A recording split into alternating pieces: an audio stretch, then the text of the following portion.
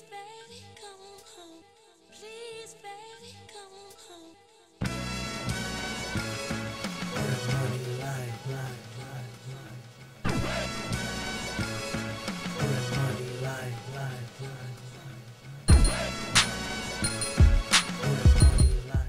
Hey everyone, welcome back to this week's Teaching Thursdays. We're going to cover a topic that many of you may not even know about that was possible, but may be a great asset to your portfolio.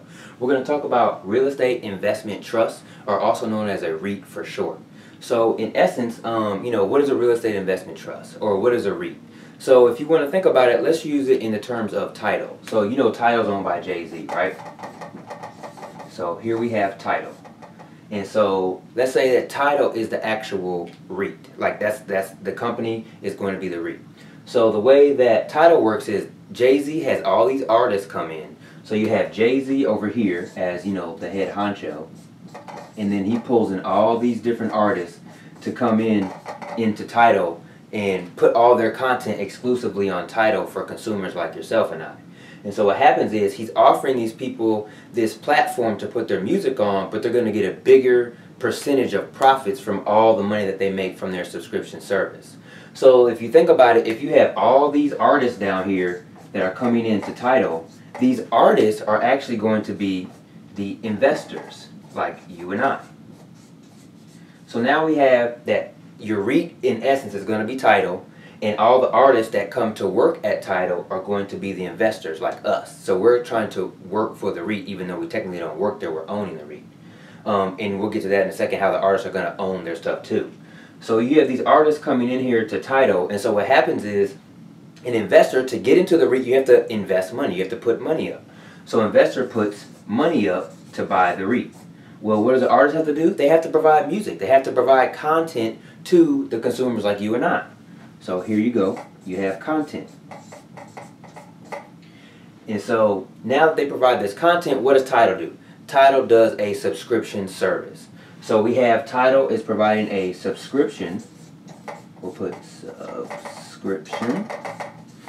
And that's how they make money. So now you want to know how does a REIT make money? Well, the way the way it works is a real estate investment trust.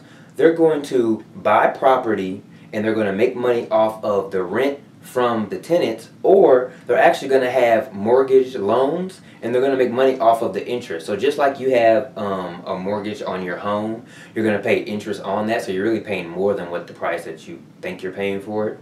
So that's how. Um, that's how the REIT is going to work. That's how they're going to make money. So if Tidal makes money off of the actual subscription, the REIT is going to make money off of interest payments for mortgages, interest, as well as rent payments from tenants. So like at apartment buildings or if it's like a shopping center or an office building, people have to pay rent to rent those spaces out. So it's going to be interest plus rent.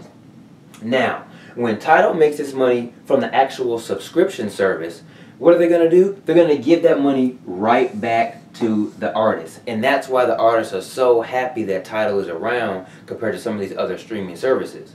So what happens with a REIT is the money that's made from the interest in the rent, where's it going to go? It's going to go right back to the investors. And actually by law, a REIT has to pay its investors 90% of the profits that they make. So look at that. We will put that real big here. 90%. 90% of the money that a REIT makes, they have to pay back to the investors. So some of these REITs and quite a few of them actually pay out dividends, which that's how they pay the investors back. So just like an artist is going to make money in the form of just they're getting paid for their content, a REIT is going to pay the money back in the form of dividends, which you all know we've talked about dividends plenty of times. And so 90% of the money that is made from the REIT is going to go back to the investors in the form of dividends. And a lot of these REITs pay back on monthly dividends. Now most companies do dividends in the form of like every three months, but REITs a lot of times tend to pay them every month. So every month you're going to get a check or money deposited, debited into your account because of the REIT that you have. So if you want to, let's go ahead and sum this back up again here. So a REIT in essence, which is a real estate investment trust, we're comparing it to Tidal. So you have Tidal, which is going to equal your REIT, and then you have Jay-Z over it. Now, you know, Jay-Z could be whoever is running running the REIT, you know, the people that are actually buying the property or getting the loans. So Jay Z is going to bring in artists to the company, just like a REIT is trying to bring in investors to buy into the REIT. So when the artists come into Tidal, they have to provide content, right? They have to provide content for consumers like you and I. So they provide content, and investors have to provide money, which is the content for the REIT to even function. Now, once the artists provide the content, Tidal issues a subscription service to people like you and I to buy that content. Just like a REIT is going to make money off of the interest in the rent. So Tidal is going to make money off of the subscription, and a REIT is going to make money off the interest payments from the loans or the mortgages, as well as the rent money from the apartment buildings, shopping centers, etc. So in essence, that's how a REIT is going to be like Tidal. And from the REIT, the subscription service, Tidal is giving their artists back a majority of their money that, that is owed to them that they feel that they're not getting from some of these other services. Just like a REIT is going to pay back most of the money that's owed back to the investors. That's why it's a great asset to your portfolio. Now, a REIT is actually traded on a stock exchange, so it's going to perform just like a regular stock. Let's go ahead and clear this up here. And that's one of the things, like, if you think about it, we talked about ETFs before and how ETFs are like mutual funds that trade like stocks. Well, a REIT is similar to a mutual fund as well. So, like we've talked about mutual funds, and in essence, an ETF is kind of like a mutual fund where it's pulling different things together. And now we have a REIT, which is kind of like a mutual fund. And actually, some mutual funds focus on real estate properties or real estate securities, particularly for that mutual fund. So if you think about it, if you can't afford to get in on a mutual fund for specific companies, then you might want to consider getting an ETF because it's a little bit cheaper. The same thing is if you can't get on a mutual fund that's dealing in real estate, you might want to get into a REIT because it's just a little bit cheaper. And like I said, they have to pay back 90% to their investors. So you can invest, it's on the stock exchange. So, you know, if you look on your stock exchanges, so stock, here we go, exchange. And if you think about a stock exchange, you know, you're going to have your NYS, NYSE are pretty, you know, a main one, as well as the NASDAQ, which is another main one. And, you know, you can just just look, you know, you can kind of just Google what a REIT is. You know, um, they have a ticker symbol just like any other company. So just like, you know, Apple and Microsoft or, you know, Ford has a ticker symbol, a REIT is going to have a ticker symbol as well. You know, it's the price is changing all throughout the day and it's going to list um, when their what their dividend is as well as how often they pay out. So whether if it's a quarterly or monthly um, dividend payout and how much it is.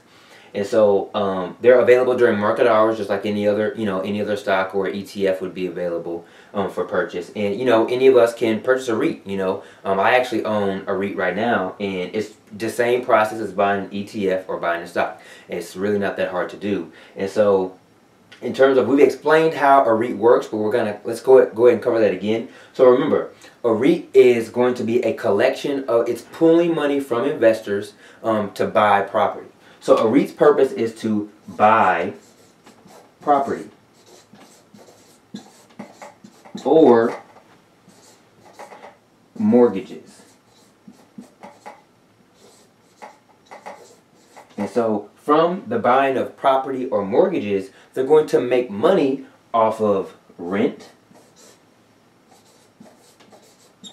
as well as interest. And so some REITs actually do both. Now you can have a REIT that does only making money off of rent, a REIT that does money only off of interest, and then you can have a hybrid that makes money off of both. And what happens is the money that's made off of both is going to go back to the investors.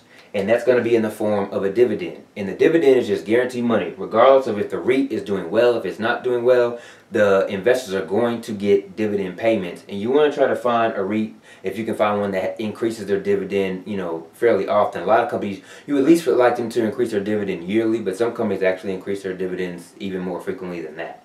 So in essence, um, you know, that's pretty much how a REIT works. Um, you know, they're buying up these properties. If you can't get into real estate directly, um, you know, that a real estate is a great asset to your portfolio, you know, having people rent out spaces, um, you know, flipping homes, whatever. But if you can't get into it and if you're looking for a, a lower price point, then a REIT in the stock market is a way for you to directly get into real estate, but also have a high liquidity amount. Because if you think about it, when you get into real estate, it usually has quite a bit of a process, you know, about at least 30 days to kind of really get your money made off of it. But with a REIT, since it trades like a stock, you can buy it and then you can sell it right away. So it's highly liquid. You can make your profit off of it really fast. Except the dividend, you know, you gotta kind of wait for that to come out.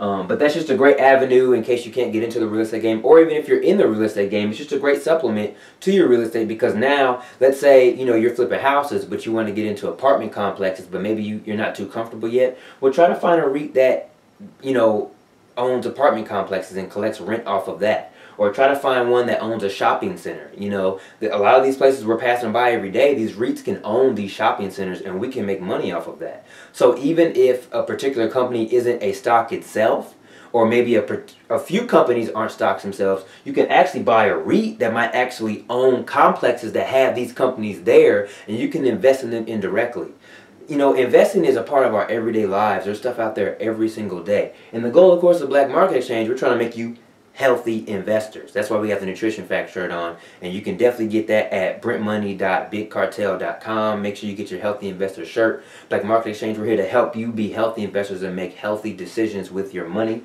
Um, so in essence, this is just a summation of a real estate investment trust or a REIT. We covered how it relates to Tidal. We told you that it is related to a mutual fund, but it trades like an ETF in a stock, and as well as the process of how a REIT works in terms of how a REIT makes money, as well as how much money that's required by law for a REIT to give back to its investors. So make sure you stay tuned for future episodes of Teaching Thursdays.